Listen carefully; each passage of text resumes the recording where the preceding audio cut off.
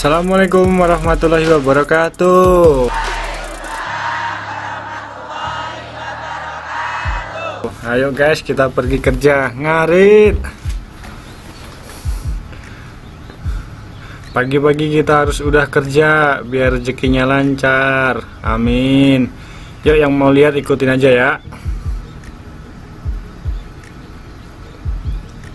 Uh, hujan guys, rintik-rintik dingin lagi.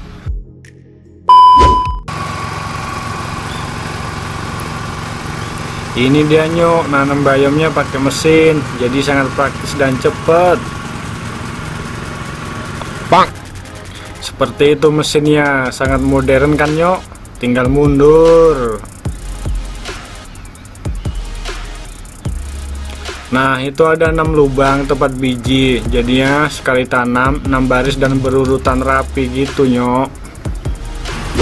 Itu yang nanam bosnya loh, sing galak karo jancu itu nanok. Pak. Kuliner malah pada nonton biar kita mandorin. Pak. Nah ini yang habis ditanam jadinya belum numbuh. Kelihatan rapi kan nyok, pakai tangan ya nggak bisa begitu ya.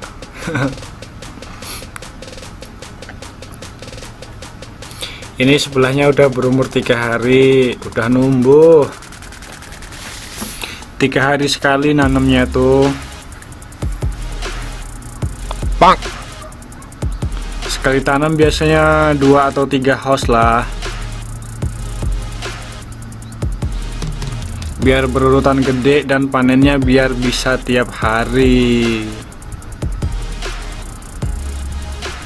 Ini sekitar umur 10 hari dan kira-kira jarak panen itu berumur 28 sampai 30 harian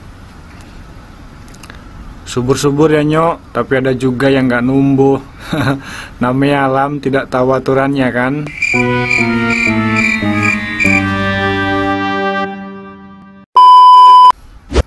Ngarit kita nyok. Siap-siap panen kita. Ini dia yang udah berumur 28 hari. Begini nih cara ngaritnya nyok. Gampang kan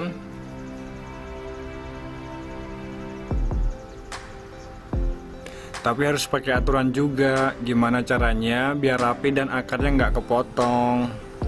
Itu depan saya ada temen dia juga ngarit. Kita ada bertiga dan satunya di sebelah. Yang satu dari Vietnam udah pulang cuma kuat 7 bulan. Seperti yang saya bilang tadi bosen jancui Siapa yang betah tiap hari diomelin? Saya pun sebenarnya juga nggak betah, ya karena keadaan. Jadinya dibetah-betahin. Udah jauh-jauh ke sini soalnya, jadi curhat. Baca. Awas nyok ketiban. ah.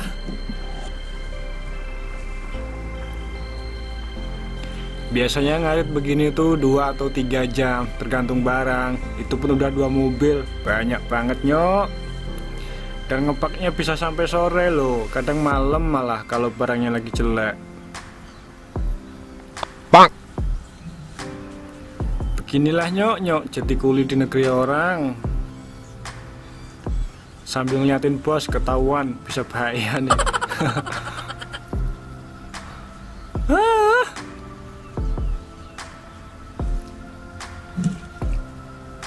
cuaca udah mulai panas.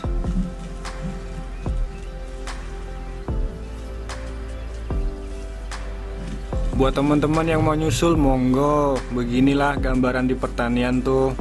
Kelihatannya sepele tapi kalau nggak bisa bener-bener disuruh pulang loh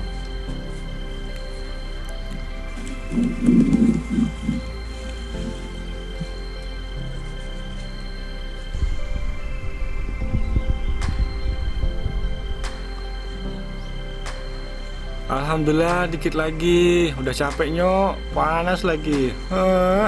Bersabar ini ujian Mohon bersabar Ini ujian uh.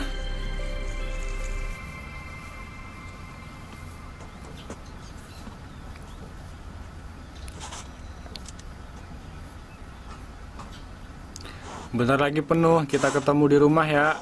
Yos.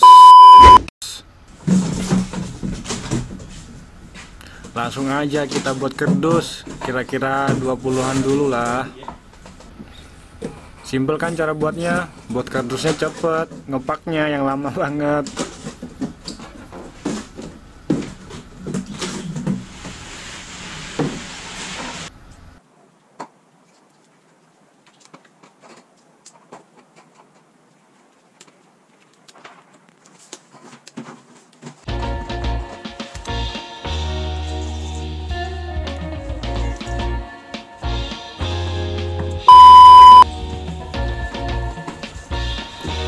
Ini yuk lihat caranya. Akarnya digunting, sisain sekitar 1 cm-an. Daun-daun yang kecil itu kita buang aja karena tidak berfaedah dan biar cantik juga rupanya. Iya, cantiknya seperti kamu. Iya, kamu. Kalau rapi dan bersih kan banyak yang beli karena akan disetor ke supermarket yang ada di sekitaran Tokyo sini. Terkadang kalau nggak rapi kita dikomplain pihak pengirim loh. Jancuk iya. Nih kayak begini nyok. Tuh lihat disusun sampai rapi ya. Bungkus. Satu kardus kita isi 25 plastik, jangan 24 ya, bahaya.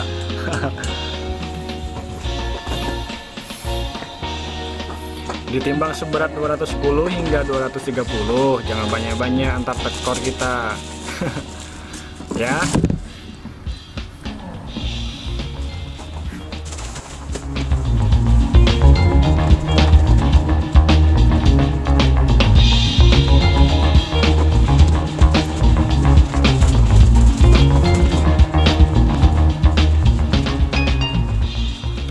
Mau ngebut dulu ya. Ayo bantuin yuk biar cepat selesai. Liatin aja kamu.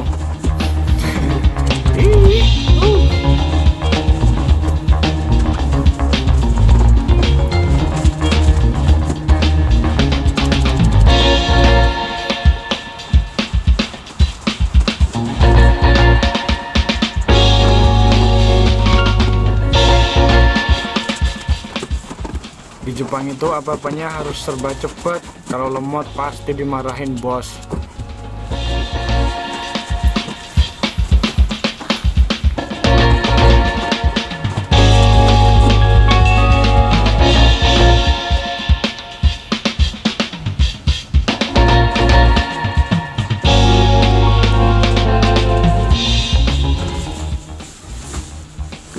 Oke, udah udah 25 kita tutup. Baru dapat satu kardus nih. Ah. Kalau ngepak tiap 2 jam sekali itu kita istirahat. Jadinya masukin kulkas dulu, nyok.